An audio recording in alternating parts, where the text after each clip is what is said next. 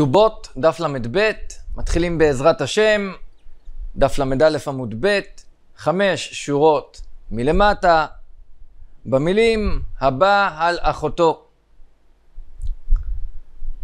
כשמוציאים ספר תורה מארון הקודש, על פי ההלכה, כל הנמצאים בבית הכנסת צריכים לעמוד לפני ספר התורה. אומר רבא במסכת מכות, דף כ"ב, כמה טיפשים שאר האנשים שהם נעמדים לפני ספר תורה, וזה בסדר, אבל כשמגיע גברא רבא, אדם גדול בתורה, הם נשארים לשבת, הם לא נעמדים לכבודו. כי הרי בספר תורה כתוב, ארבעים יכנו, שכשאדם חייב מלקות הוא מקבל ארבעים מלקות. ואילו החכמים דרשו, הגברא רבא דורש, ארבעים חסר אחת. זאת אומרת שהאדם הגדול בתורה, הוא מפרש את דברי הספר תורה, ולכן ודאי שצריך לקום לכבודו. שואלים, למה רבא לקח דוגמה דווקא ממלכות? הרי יש את זה גם בספירת העומר. התורה אומרת, תספרו חמישים יום, והגיעו חכמי ישראל ואמרו, חמישים חסר אחד, ארבעים ותשעה יום. אלא, לומדים מכאן, שגברא רבה זה אחד שמצליח לפעול שיהודי יקבל מכה אחת פחות. שיהודי יקבל מכה אחת פחות. היום אנחנו נראה דבר נוסף שהגברא רבא הצליח לפעול, להקל ולדרוש מהפסוקים לכולה, להקל בעונשים. במשנה למדנו שהאדם שמאנס או מפתה נערה בתולה, שהתורה אומרת שהוא חייב קנס, זה כולל גם אם אותה נערה אסורה עליו באיסור ערווה, שהוא חייב עליה בעונש כרת. ועם דוגמאות, הבעל אחותו ועל אחות אביו וכולי.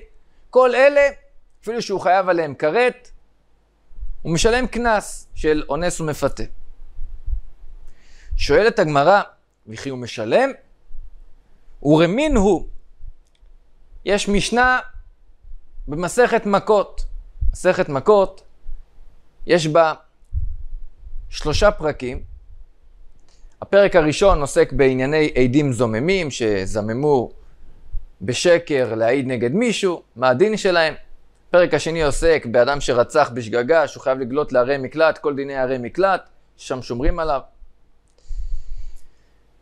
ורק הפרק השלישי של מסכת מכות עוסק באמת בענייני מלכות. בתחילת הפרק השלישי פותח ככה, אלו הן אלוקים. לכן גם השם של הפרק הוא פרק אלו הן אלוקים. ומביאים רשימה של אריות שחייבים עליהם כרת, אבל התורה גם כותבת איסור לא תעשה בפרשת אחרי מות בספר ויקרא, על כל אותם אריות שחייבים עליהם כרת. ומכיוון שיש עליהם לא תעשה, אם אתרו באותו רשע לפני שהוא הלך ועשה את האיסור, מקבל מלקות. איזה עריות?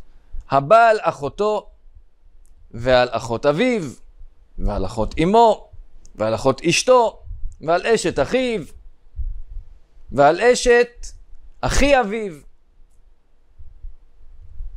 דודה שלו, ועל הנידה. כל אלה מקבלים עליהם מלקות. וקיים עלן דרשה נוספת שדרשו חכמים. להקל בעונשם של ישראל, כמו שהם דרשו מהפסוקים. הפסוק אומר, והפילו השופט, והיכהו לפניו כדי רשעתו. אז בעמוד הבא הגמרא דורשת, כדי רשעתו לשון יחיד, על רשעה אחת אתה מחייבו. והיא אתה מחייבו משום שתי רשעויות. ולכן קיים עלן, דהינו גם לוקה וגם משלם. לא מחייבים על אותו מעשה גם ממון וגם מלקות. אז אם הם חייבים מלקות, למה המשנה אומרת שהם חייבים גם קנס של אונס ומפתה? אמרו לה, לא קשיא, זה לא סותר. כאן, מה שכתוב שהוא חייב קנס באחותו, מדובר בנערה שיש לה קנס. ובאמת, לפי דעתו של אולה, במקרה שהיה אמור להיות גם קנס וגם מלקות, הוא משלם את הקנס ואינו לוקה. חידוש גדול של אולה. תכף נראה את דעת רבי יוחנן, שחולק, והוא סובר להפך, שכשיש ממון ומלקות, לוקה ואינו משלם. אבל דעתו של אולה, שאדם שעושה מעשה שחייבים עליו גם מלקות וגם תשלום, משלם ואינו לוקה. ולכן כאן, באחותו נערה, שחייבים עליה קנס, אז הוא יהיה באמת פטור ממלקות. וכאן המשנה במלקות שאומרת שהוא חייב מלקות, מדובר באחותו בוגרת, שבבוגרת אין קנס, כי כתוב דווקא נערה. שואלת הגמרא, הרי גם באחותו בוגרת נמי יש חיובי ממון, כי הרי צריך לשלם האיכא בושת באנוסה. משלם לה על הבזיינות שהוא עשה לה. הוא פגם שהוא צריך לשלם על הנזק. מה הנזק? כותב רש"י, כאילו היא שפחה נמכרת בשוק. כמה פיחתה מדמיה? שאדם קונה שפחה בשביל להסיעה לעבד שיש לרבו קורת רוח ממנו, כמו שמובא בדף מ'. שזה נזק ששייך בבוגרת, שכעת היא כבר לא בתולה, אז שוויה יורד. אז אם הוא משלם, הוא לא, הוא לא לוקה, ואם כן, למה כתוב שהם לוקים? מתרצת הגמרא, מדובר פה בשוטה, שאין בה דת ואין גם בושת. גם פגם אין כאן, כי היא לא שווה להימכר בשוק.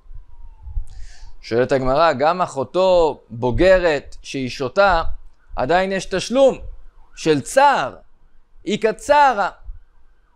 אז אם כן, הוא משלם, אז למה הוא גם לוקה? תרץ את הגמרא, באמת שם לא מדובר במאנס, אלא במפותה. שבאמת היא אין לה צער.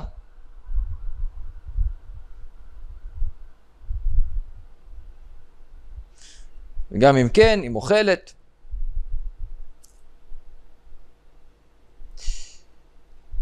אומרת הגמרא, אשתא דעתית לאחי? כעת שאנחנו מחויבים ומוכרחים להעמיד את המשנה במלקות, שהוא לוקה על אותן נשים, שמדובר כאן במפותה, אפילו תימה באחותו נערה, אפשר להעמיד שמדובר שם באחותו נערה שיש לה קנס. אז אם כן, תשאל, אם יש קנס, למה גם מקבלים מלקות? הרי לפי אולה, אם יש על מעשה אחד גם קנס וגם מלקות, אז הוא משלם ואינו לוקה. אפשר להעמיד את המשנה ביתומה, שאין לה אב, ואת כל התשלומים של מפתה, את הקנס של מפתה, משלמים לאב, ומדובר פה במפותה, שהיא, עצם זה שהיא הסכימה מח, מח, מחלה על כל התשלומים. ומכיוון שאין תשלומים, הוא לוקה.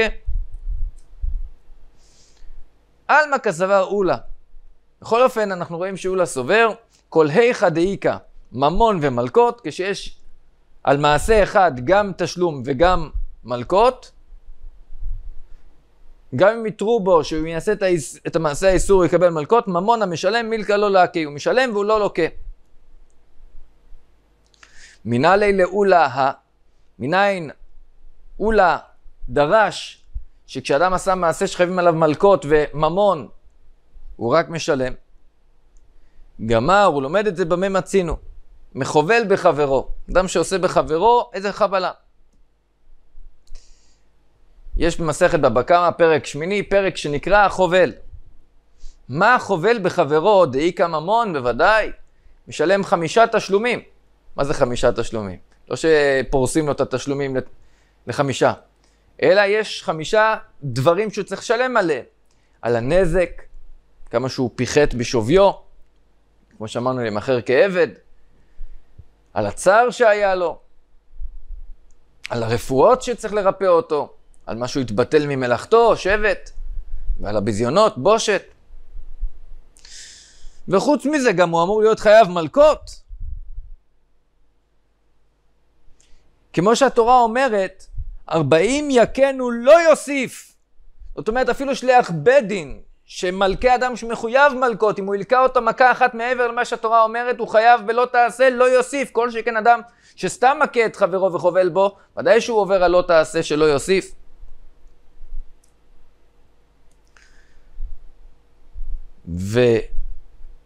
ואפילו שיש כאן גם ממון וגם מלקות, אדם שחובל בחברו לא חייב מלקות, אלא הוא משלם, ממון המשלם מילקה לא לקי.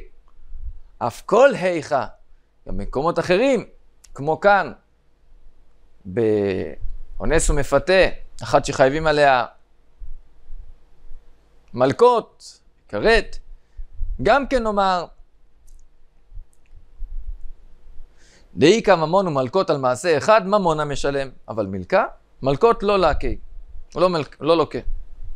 דוחה הגמרא, אתה לומד את זה מחובל בחברו, זה לא דומה. מה לחובל בחברו? שדנים אותו לשלם ממון, שאנחנו כעת סבורים שתשלום של ממון שאדם צריך לשלם זה יותר חמור מאשר לקבל מלקות. שכן, יש חומרה אחרת בחובל בחברו, שהוא חייב, חוץ מהנזק, עוד ארבעה דברים, הוא חייב בחמישה דברים, גם נזק, גם צער, גם רפואה, גם שבט, גם בושת, כמו שפירטנו קודם. אולי בשביל זה החמירו שהוא לא יקבל מלקות אלא ישלם. לעומת זאת, במהנס, שהוא לא משלם חמישה דברים, אלא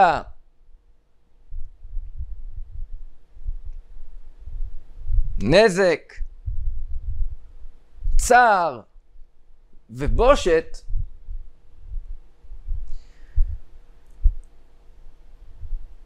אם כן, אולי בשביל שזה פחות חמור, כי אין ריפוי ואין שבט, אז אולי מכיוון שזה קל, כן יהיה מלקות. זה על הצד שממון, לשלם ממון זה יותר חמור מלקבל מלקות. ואם נאמר שממונה לכולם, שאדם מעדיף לשלם ממון, או שבכל אופן תשלום ממון זה עונש יותר קל מהעונש של מלקות, ואם כן, אף על פי שלשלם זה יותר קל מלקבל מלקות, התורה הקלה על אדם שחבל בחברו, שהוא לא צריך לקבל מלקות, אלא מספיק שהוא ישלם, ואם כן, כל שכן שאר מקומות, נאמר שאם הוא אמור גם לקבל מלקות וגם לשלם, הוא רק ישלם. כי נאמר, מה חובל בחברו החמור? שהרי הוא חייב בחמישה דברים. נזק, צער, ריפוי, שבט, בושת. בכל זאת התורה מקלה עליו. שהוא לא צריך לקבל מלקות, אלא מספיק שהוא משלם.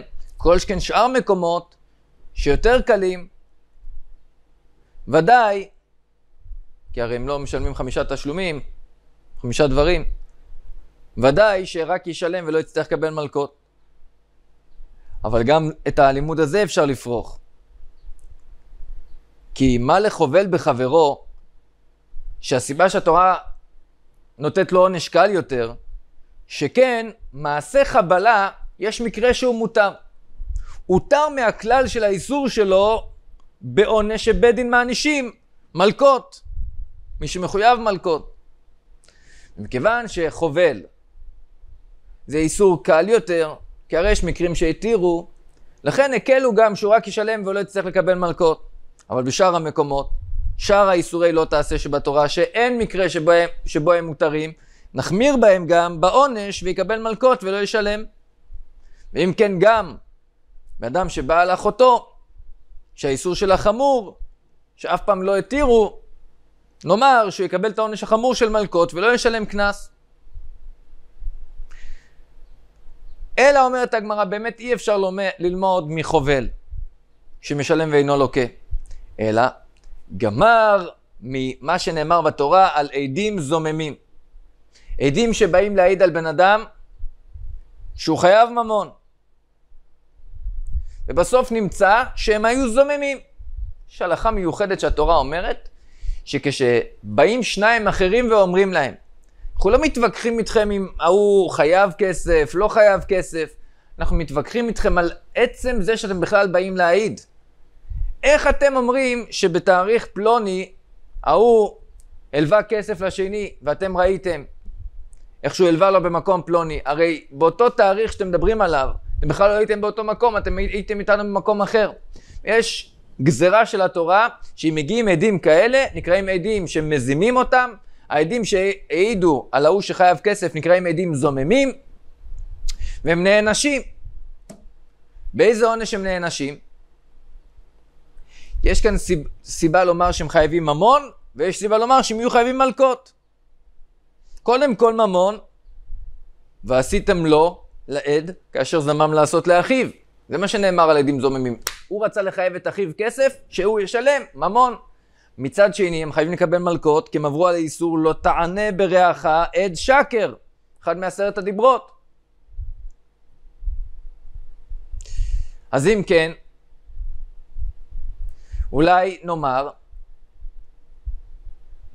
שכמו במקרה הזה, אנחנו לא נותנים להם מלקות, אלא אפילו דאיקה ממון ומלקות, ממון המשלם, משלם את מה שהוא תכנן שההוא יהיה חייב, אבל מלכות מילקה לא להקי, הם לא לוקים. אז אותו דבר גם בשאר המקומות שיש גם מלכות וגם ממון. אף כל הרא דאיקה ממון ומלכות, רק ממון המשלם, אבל מלכות מילקה לא להקי, הוא לא ילקה. ולכן, באריות שדיברנו עליהן, שמצד אחד יש עליהן מלכות, מצד שני אם זה נערה בתולה יש עליהן קנס, שלמו קנס ולא יקבלו מלכות. דוחה הגמרא גם את הלימוד מעדים זוממים. מה לעדים זוממים? על הצד שאתה אומר שלשלם ממון זה יותר חמור מאשר לקבל מלכות, אז אני מבין למה התורה החמירה בעדים זוממים שישלמו ממון. שכן, הם נענשים, מה שהם זממו לעשות להוא, לזה שמעידים עליו. כל העונשים, אם זה מיטה, אם זה מלקות, או ממון, אם זממו לחייב ממון, הם חייבים והם אינם צריכים התראה. בדרך כלל בשביל לחייב בן אדם עונש על מעשה של איסור, חייבים קודם להתרות בו, כמו שעדים והתראה, צריכים שעדים יעידו עליו, וגם שיתרו בו לפני כן. תדע לך, אם תעשה את האיסור הזה, תקבל עונש כזה וכזה. אבל עדים זוממים, גם אם לא יתרו בהם, הם חייבים. כמו שמובא בדף ל"ג, המקור לזה, שגם אם לא יתרו בהם, הם חייבים. אז חמור מאוד האיסור של עדים זוממים, שגם בלי התראה הם נענשים. לכן החמירו בהם, שאם הם היו חייבים מלקות וממון, הם משלמים את הדבר החמור ביותר, ממון. ואם תאמר שלשלם ממון זה נקרא דבר יותר קל, אם ממונה לכולה הוא, ואם כן, אפשר ללמוד מקל וחומר מעדים זוממים, שאם עליהם מקלים, כל שכן שנקל לאחרים. מה עדים זוממים שהם חמורים, שהם אינם צריכים התראה בשביל להעניש אותם, בכל זאת התורה מקלה, שאם יש לה ממון ומלקות, הם משלמים ולא לוקים. כל שכן מקומות אחרים, שכן צריך התראה בשביל להעניש אותם, ודאי נקל, שהרי זה שצריך התראה זה כולה בעצם, שאם לא יתרו בו הוא פטור, אז נקל עליהם גם כן, שהם יספיק שישלמו ולא יצטרכו לקבל מלקות. אבל את הקל וחומר הזה אפשר לפרוך, כי בעדים זוממים גם יש דבר להקל עליהם. לא עשו דבר כזה חמור, שכן הם לא עשו מעשה, אלא הם רק דיברו. ולכן, כיוון שהם עשו מעשה פחות חמור, מקלים עליהם שהם רק צריכים לשלם, והם לא צריכים ללקוט. אבל בלאו שיש בו מעשה, כמו במקרה שלנו, אדם בא על אחת מהאריות, אז אחותו למשל, אפשר לומר שהתורה החמירה בעונש החמור יותר של מלקות. אז אי אפשר ללמוד לא מחובל ולא מעדים זוממים. ללמוד שבמקרה שאדם חייב גם ממון וגם מלקות, ישלם ממון ולא ילקה. אלא אולי נלמד את החידוש של אולה, שאם אדם חייב גם ממון וגם מלקות, לחייב אותו רק בממון, אולי הוא לומד את זה מתרוויו, גמר מתרוויו, גם מחובל וגם מעדים זוממים ביחד. צד השווה. מהצד, מה מצינו? ואפשר ללמוד את זה גם על הצד שלשלם ממון זה יותר חמור מאשר לקבל מלקות, ואז נלמד ככה. אתה רואה שהתורה אומרת בחובל בחברו שהוא משלם ולא לוקה. תלמד לכל התורה שגם כן משלם ולא לוקה, במקרה שיש את האפשרות לעשות אחד משתיהם. ואז תאמר, אתה יודע למה התורה החמירה בחובל, על הצד של לשלם ממון זה יותר נקרא להחמיר מאשר לקבל מלקות? אתה יודע למה התורה החמירה בחובל? כי הוא משלם חמיש, חמישה דברים. נזק צער, ריפוי, שבט ובושת. אבל שאר המקומות לא. אני אומר שאין שם חמישה דברים, לא יצטרכו לשלם, אלא יספיק מלקות, עדים זוממים יוכיחו שהם לא חייבים בחמישה דברים, ובכל זאת אנחנו מחמירים עליהם שהם צריכים לשלם והם לא לוקים. ואם תאמר שהסיבה שהחמירו בעדים זוממים כי הם לא צריכים התראה, אלא מענישים אותם גם בלי שיתרו בהם, ולכן הם משלמים. אני אומר לך, חובל בחברו יוכיח שהרי בו כן צריך להתרות כדי שיהיה חייב, לפני שהוא עושה את המעשה, ורק אז הוא יהיה חייב, ואף על פי כן, אפילו שמקלים בו, שאם לא יתרו בו הוא יהיה פטור, בכל זאת מחמירים עליו שהוא יצטרך לשלם המון ולא לקבל מלקות.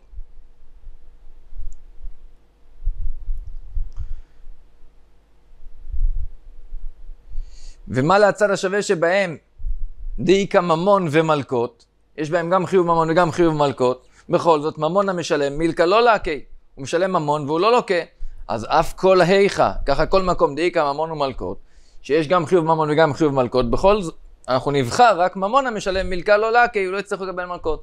זה על הצד של לשלם ממון יותר חמור מאשר לקבל מלקות, ועל הצד שלשלם ממון זה יותר קל מאשר לקבל מלקות, גם כן אומר ש... אולי נלמד מחובל לכל המקומות שיש בהם גם ממון וגם מלקות, עונש ממון וגם עונש מלקות, נאמר כמו חובל שיש בו את שניהם, אנחנו מקלים עליו שהוא משלם ולא לוקה, ככה גם בשאר המקומות נקל עליהם שישלמו ולא ילקו. נאמר שהסיבה שתורה הקלה בחובל, מכיוון שיש מקרה שבו מותר לחבול, שזה אדם שמחויב מלקות. שליח בית דין מותר לו להכות אותו, אז הכלל של האיסור לחבול הותר בבית דין. לכן מקלים בו שהוא רק צריך לשלם ולא מקבל מלקות, גם אדם שחובל באיסור. על זה אני אומר לך, עדים זוממים יוכיחו שאין שום מקום שיש היתר לה, לה, להעיד שקר במישהו, ואף על פי כן אנחנו מקלים עליהם שהם רק צריכים לשלם ממון ולא לקבל מלקות. אם תאמר שהסיבה שהקילו בעדים זוממים לשלם, מכיוון שהם לא עשו מעשה, אלא הם רק דיברו, חובל בחברו יוכיח שהוא עשה מעשה, ויכול להיות שהוא גם השאיר סימנים, בדרך צחות, ואף על פי כן אנחנו מקלים עליו שהוא רק משלם ממון ולא מקבל מלקות. לפי זה, גם כן אומר, מה, לצ...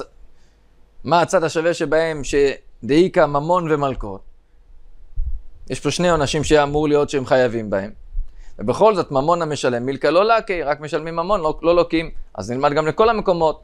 אף כל איכה דאיכא ממון ומלקות, שיש חיוב ממון ומלקות, ממון המשלם, ולא ילקה, מילקא לא לקי. דוחה הגמרא, גם אם אתה רוצה ללמוד משניהם יחד, אני יכול לדחות. מה הצד השווה שבהם, שכן בשניהם יש בהם צד חמור. בעדים זוממים,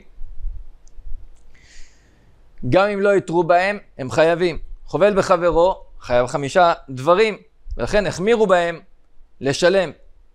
אם נאמר שממון זה נקרא להחמיר. לשלם ממון זה יותר חומרה מאשר לקבל מלקות. ואם נאמר שלשלם ממון, ממון הזה לקולה, או זה נקרא שהם מקלים בהם, אז גם כן אפשר לומר שהתורה הקלה בשניהם, בחובל ובעדים זוממים, שכן בשניהם יש בהם צד הקל, יותר מכל התורה. החובל בחברו, יש מקרה שהותר מהכלל של האיסור. סתם ככה אסור לחבול, אבל שליח בית דין שמלכה אדם שחייב מלקות, זה מותר לו. וכן, עדים זוממים, יש להם צד קל, כי הם רק דיברו, הם לא עשו מעשה. אבל שאר המקומות שאין בהם את הקולות האלה, אין בהם אפילו אחת מהקולות האלה. אולי נאמר שנחמיר עליהם שהם יקבלו מלקות ולא ישלמו. אלא אומרת הגמרא, המקור לשיטתו של אולה, שכשאדם עשה מעשה אחד שיש עליו גם עונש של ממון וגם עונש של מלקות, הוא רק נענש שהוא צריך לשלם ממון, הוא לומד את זה בגזירה שווה. תחת תחת גמר, כתיב האחה לגבי מהנס, תחת אשר עינה, ואני לא יודע אם זה הכוונה לממון או למלקות. כתיב האטם לגבי חובל בחברו שהוא משלם עין תחת עין. תמורת העין שהוא סימא, הוא משלם תשלומי עין. מה הטה ממון המשלם? כמו שהגמרא דורשת בהמשך, שבחובל הוא משלם ממון, אבל מילקה לא לקי, הוא לא מקבל מלקות, אף כל היכה, ככה גם בכל מקום, דאיכא ממונה ומלקות, שיש גם חיוב ממון וגם עונש של מלקות, על מעשה אחד, רק ממונה משלם, אבל הוא לא מקבל מלקות, מילקה לא לקי. אז כאן סיימנו לבאר את דעתו של אולה, שכשאדם עושה מעשה שיש עליו גם עונש של ממון וגם של מלקות, הוא רק משלם ממון. רבי יוחנן אמר בדיוק להפך. אם יש על מעשה אחד גם עונש של ממון וגם עונש של מלקות, הוא יקבל את העונש של המלקות. ולכן, רבי יוחנן אמר תירוץ חדש, לפי שיטתו, לתרץ את הסתירה בין המשנה שלנו, שאדם מאנס או מפתה אחת שחייבים עליה חיוב כרת, ערווה, שעליה גם כן יש איסור לא תעשה, אז המשנה אומרת שחייבים קנס של אונס ומפתה.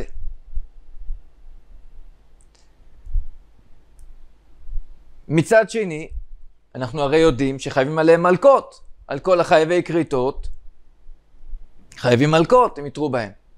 אז אם כן, נשאלת השאלה, הרי יש כלל שאדם שלוקה לא משלם, אין לוקה ומשלם. מתרץ רבי יוחנן, אפילו תימה, גם אם תאמר שהמשנה שם במסכת מלקות, שאומרת שחייבים מלקות על האנשים האלה, אחותו למשל, אפשר לומר שמדובר פה באחותו נערה שחייבים עליה קנס של אונס ומפתן. ואם כן, נשאלת השאלה, הרי יש כלל אינו לוקה ומשלם, אז איך גם מקבלים קנס וגם מלקות? כאן, המשנה במלקות שאומרת שקבלים מלקות, מדובר שיתרו בו, שאם הוא יבוא עליה, יהיה חייב מלקות, ולכן הוא גם לא משלם. כי אם אדם חייב גם מלקות וגם תשלומים, הוא לוקה ולא משלם לפי רבי יוחנן. וכאן המשנה שלנו, מדובר במקרה שלא יתרו בו, שאם הוא יבוא על אחותו הוא יהיה חייב מלקות, לכן הוא לא יהיה חייב מלקות, אבל ממון הוא יצטרך לשלם קנס. עלמא, כאן אנחנו רואים את דעתו של רבי יוחנן, שבה הוא חולק עם אולה, כסבר רבי יוחנן, כל היכא דאיכא, כל מעשה שחייבים עליו גם ממון וגם מלקות, והתרובי, ולכן באמת הוא מתחייב, יש לו אפשרות להתחייב בכל אחד מהם, אנחנו בוחרים בעונש של מלקות, מילקה לקי, ולא ניתן לו לשלם, ממון הלא משלם. מנהלי לרבי יוחנן הא, מנין רבי יוחנן לומד שהוא לוקה ולא משלם. אמר קרא, על אדם שמחויב מלקות, מחמד שהוא חטא, ובא עכשיו שליח בית דין, והוא צריך לקיים את מצוות המלקות. הוא צריך להכות אותו כדי לא רשעותיו, אלא רשעתו לשון יחיד. משום רשעה אחת אתה מחייבו על, חוט, על חטא אחד, ואי אתה מחייבו משום שתי רשעיות על שני חטאים שנעשו במעשה אחד. ובסמוך לפסוק הזה, סמיך לי ארבעים יכנו, כשאנחנו מדברים כאן רשעה אחת, אתה מחייב אותו, כשהוא עשה במעשה אחד שתי רשעיות, אתה מחייב אותו רק על רשעה אחת. איזה? על איזה עונש? איזה עונש תיתן לו? 40 יכנו. זאת אומרת, בסמוך למה שהתורה אומרת, כשבן אדם חייב על מעשה אחד שני עונשים, אתה נותן לו רק עונש אחד, איזה עונש? בסמוך כתוב איזה עונש. מהסמיכות של 40 יכנו לומדים שבאמת מקבלים מלקות. עכשיו, שואלת הגמרא על שני המקרים שהבאנו קודם, שבהם אנחנו מוצאים שגם אמור להיות חיוב ממון וגם מלקות, ומשלמים ממון ולא לוקים, חובל בחברו ועדים זוממים. והרי חובל בחברו, דאיכא ממון ומלקות, הוא חייב גם ממון החמישה דברים, וגם מלקות, שלמדנו מזה שכתוב לא יוסיף להכותו, שהוא חייב לא תעשה, הוא עבר לא תעשה, הוא חייב על זה מלקות, כמו שדרשנו קודם.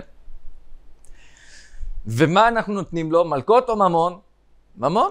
ממון המשלם מילקה לא להקי. למה שם לא לומדים מהסמיכות? שכשיש עונש אחד, כתוב בסמוך, איזה עונש? 40 יכנו. וכי תימה, אם תרצה לתרץ, הנה מילי שחובל, משלם, מדובר אחד, לא עתרו בי, לא יתרו בה לפני שהוא חבל שאם הוא יחבול יקבל מלקות.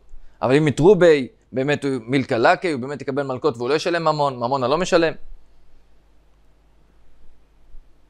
ואמר רבי עמי, אמר בשם רבי יוחנן, היכהו הכאה שאין בה שווה פרוטה,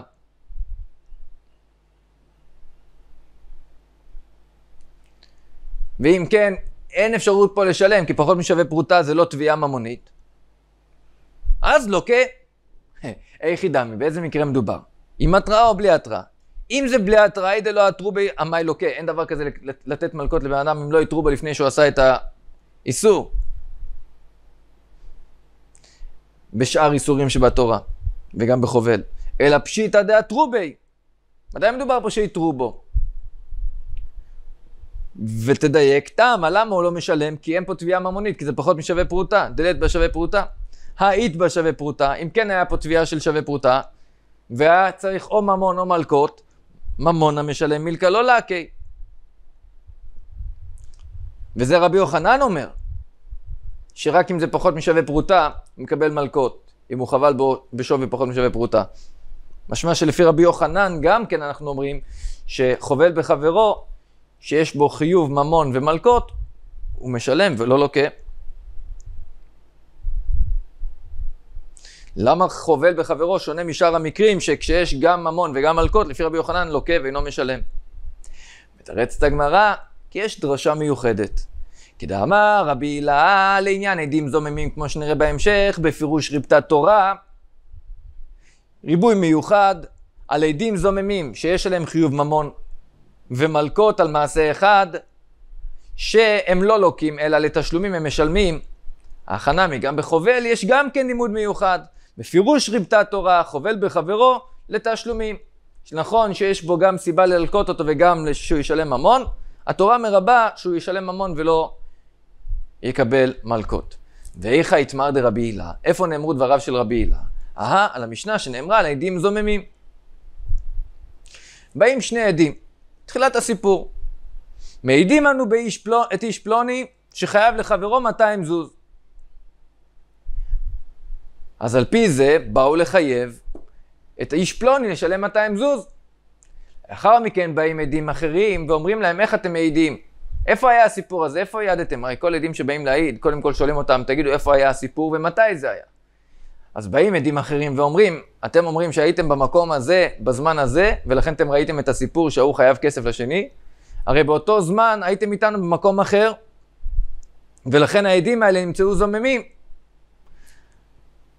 העדים זוממים האלה, לפי דעת רבי מאיר, שזו דעה מיוחדת, שלא עסקנו בה עד עכשיו, הוא סובר שהם גם לוקים כי הם העידו עדות שקר, לא תענה ברעך את שקר, וגם משלמים את הממון שהם זממו להפסיד להוא, 200 זוז.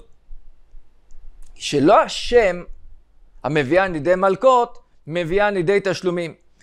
כי השם, החיוב שמחייב את המלקות, זה לא תענה ברעך את שקר. והשם, החיוב שמחייב אותם תשלומים, כי כתוב ועשיתם לו כאשר זמם לעשות לאחיו, הם זממו שאחיו ישלם, אז הם צריכים בעצמם לשלם. דברי רבי מאיר. וחכמים אומרים את הדעה שהבאנו כל הזמן, כל המשלם אינו לוקה.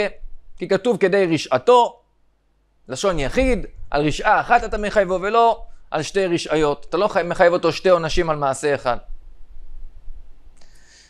רגע, אז אתה לא נותן שתי עונשים, אבל מי אמר שהעונש שאתה כן נותן זה תשלום? אתה אומר, כל המשלם אינו לוקה.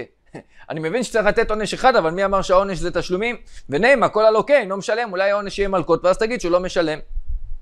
ועל זה אמר רבי הילה, בפירוש ריבתה תורה, עדים זוממים לתשלומים. שעדים זוממים, שיש עליהם גם חיוב ממון וגם חיוב מלקות, יש דרשה מיוחדת מהפסוקים שהם משלמים ולא מקבלים מלקות. והיכן ריבתה התורה? על עדים זוממים, ולאחר מכן על חובל בחברו, שעל אף שהם גם משלמים, אמורים לשלם וגם אמורים לקבל מלקות, בכל זאת התורה אומרת שהם ישלמו ולא יקבלו מלקות.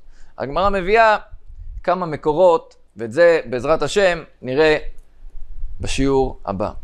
עד כאן דף ל"ב.